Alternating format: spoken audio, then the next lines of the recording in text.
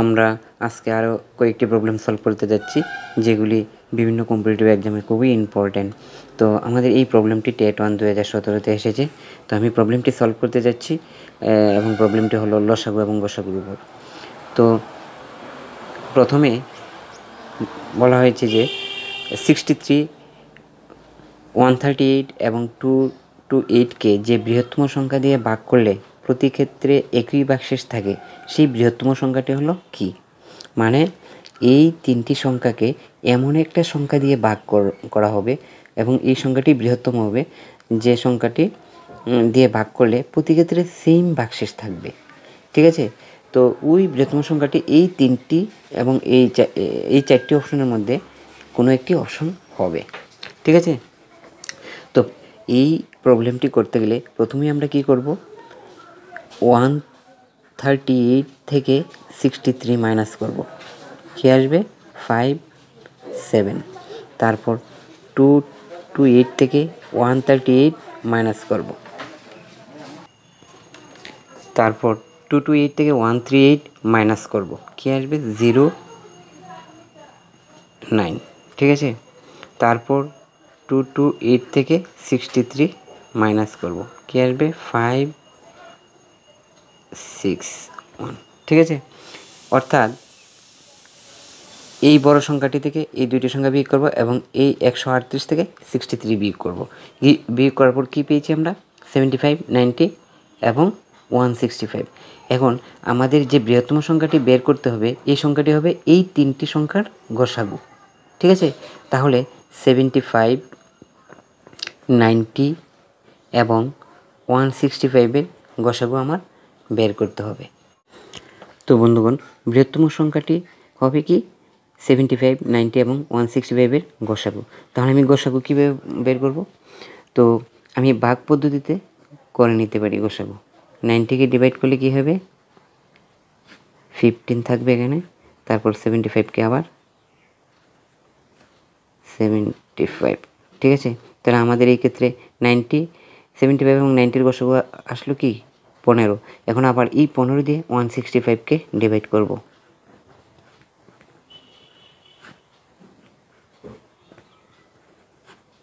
তাহলে আমাদের তিনটি সংখ্যার গসাগু কত আসলো? পনেরো। ঠিক আছে? তো অপশন হলো সি নম্বর ঠিক আছে? অর্থাৎ আনসার আমাদের পনেরো এবং এই অ্যান্সারটি হলো অপশন সি ঠিক আছে? তো বন্ধুগণ খুব ইজিলি আমরা প্রবলেমটি সলভ করে নিলাম। আবার বলছি sixty three one thirty eight এবং টু টু এইটকে যে বৃহত্তম সংখ্যা দিয়ে ভাগ করলে প্রতি ক্ষেত্রে একই বাক্সেস থাকে। অর্থাৎ sixty three one thirty eight এবং টু টু এইটকে যেমন আমাদের রেজাল্ট আসলো কি, পনেরো, এই পনেরো দিয়ে ভাগ করলে প্রতি ক্ষেত্রে সেম বাক্সেস থাকবে। অর্থাৎ এর- এর চেয়ে ছোটো সংখ্যা দিয়েও ভাগ করলে থাকবে, কিন্তু বৃহত্তম সংখ্যা। ঠিক আছে, বৃহত্তম সংখ্যাটা হলো কি? ফিফটিন ফিফটিন দিয়ে একমাত্র এত এতকে ভাগ করলে প্রতি ক্ষেত্রে একই বাক্সেস থাকবে, বৃহত্তম সংখ্যা। ঠিক আছে? অর্থাৎ ফিফটিন হলো আমাদের এক্ষেত্রে ক্ষেত্রে আনসার আনসারটা অপশন সি তো বন্ধুগণ, আমরা আরেকটি প্রবলেম সলভ করব। দেখতে থাকুন। বন্ধুগণ, আমাদের এই প্রবলেমটি টেট ওয়ান দু হাজার সতেরোতে এসেছে। একশো চুয়াল্লিশ সংখ্যাটির মোট গুণনীয়কের সংখ্যা। অর্থাৎ গুণনীয়ক মানে উৎপাদক। তো প্রথমে আমরা কি করব? একশো চুয়াল্লিশকে ফ্যাক্টরাইজ করব।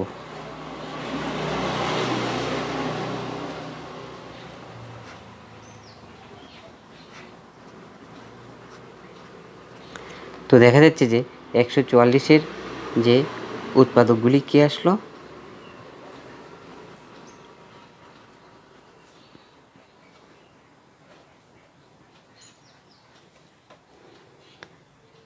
অর্থাৎ এক্ষেত্রে আমরা দেখতে পাচ্ছি যে এগুলি হলো কি মৌলিক উৎপাদক। তো আমরা প্রথমে কি করব? যেমন একশো চুয়াল্লিশকে ওয়ান দিয়ে ডিভাইড যাবে। ওয়ান হবে একটা উৎপাদক। টু দিয়ে যাবে। থ্রি দিয়ে ডিভাইড যাবে। Two into two that is four দিয়ে ডিভাইড যাবে। ফোরের পরে ফাইভ তো যাবে না। সিক্স দিয়ে যাবে। থ্রি ইন্টু টু সিক্স তারপর এইট দিয়ে যাবে। তারপর টুয়েলভ দিয়ে ডিভাইড যাবে। Three into three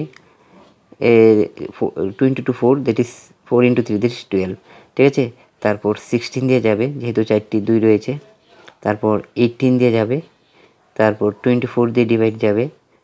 আমরা ইজিলি বের করে নিতে পারি, যেমন two into two four four into two eight eight into three twenty four ঠিক আছে?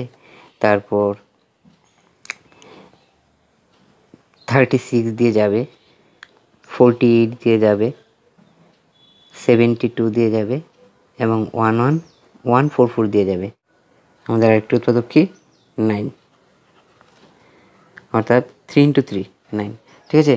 ওয়ান দিয়ে যাবে টু দিয়ে যাবে থ্রি দিয়ে যাবে ফোর দিয়ে যাবে সিক্স দিয়ে যাবে এইট দিয়ে যাবে নাইন দিয়ে যাবে।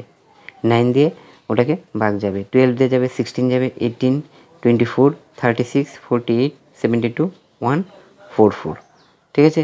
তো আমাদের কয়টি হলো? One two three four five six seven eight nine ten eleven twelve thirteen fourteen fifteen তো আমাদের আনসার হবে অপশন বি তো বন্ধুগণ, খুব ইজিলি আমরা বের করে নিলাম। আমাদের প্রথম টার্গেটই হবে কি? একশো চুয়াল্লিশকে কী কী সংখ্যা দিয়ে ডিভাইড যায়? অর্থাৎ বিভাজ্য হবে। কী কী সংখ্যা দিয়ে ভাগ করলে একশো চুয়াল্লিশ বিভাজ্য হবে? ঠিক আছে? তো দেখা যাচ্ছে যে এই সংখ্যাগুলি দিয়ে ভাগ করলে একশো চুয়াল্লিশ বিভাজ্য হবে। ঠিক আছে?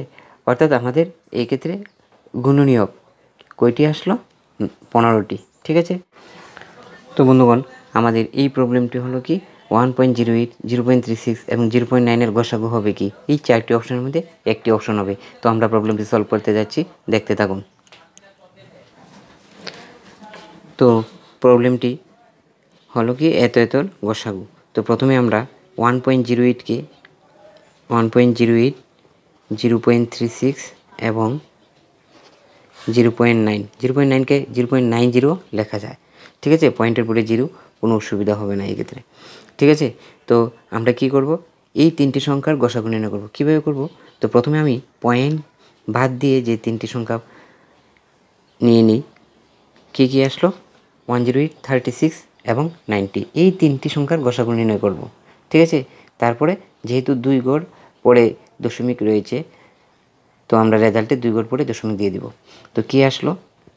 প্রথমে থার্টি সিক্স দিয়ে নাইনটিকে ডিভাইড করব। কী আসলো এই ক্ষেত্রে?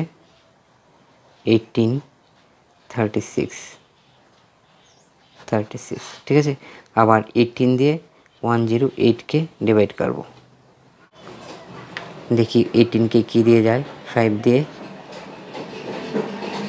নাইনটিন তাহলে সিক্স দিয়ে দেখি। আসলো। তো আমাদের রেজার আসলো কি? এই ক্ষেত্রে one zero eight thirty six এবং নাইনটির গসাগু আসলো কি? গসাগু কি? এইটিন তো যেহেতু আমাদের দুই গড় আগে দশমিক আছে, তো আমাদের নির্ণয় রেজাল্ট কী আসবে? নির্ণয় গসাগু পয়েন্ট ওয়ান এইট অর্থাৎ অপশন সি তো বন্ধুগণ, আমি আবার বলছি, যেহেতু প্রত্যেকটি সংখ্যাতে পয়েন্ট রয়েছে, তো আমি প্রত্যেকটিতে দুই গড় আগে দশমিক আছে। তো আমি কি করলাম? পয়েন্টগুলি তুলে নিয়ে যে সংখ্যাগুলি পেলাম, এই সংখ্যাগুলির গসাগু নির্ণয় করলাম। তারপর দুই গড় আগে রেজাল্টের দুই গড় আগে দশমিক দিয়ে দিলাম। ঠিক আছে? তো ওটা হলো আমাদের নির্ণয় গসাগু। ঠিক আছে বন্ধুগণ? তো আমরা পরবর্তী সময় আরও কিছু প্রবলেম সলভ করব। তো দেখতে থাকবেন। ভালো লাগলে অবশ্যই শেয়ার করবেন লাইক করবেন কমেন্ট করবেন। সবাইকে ধন্যবাদ।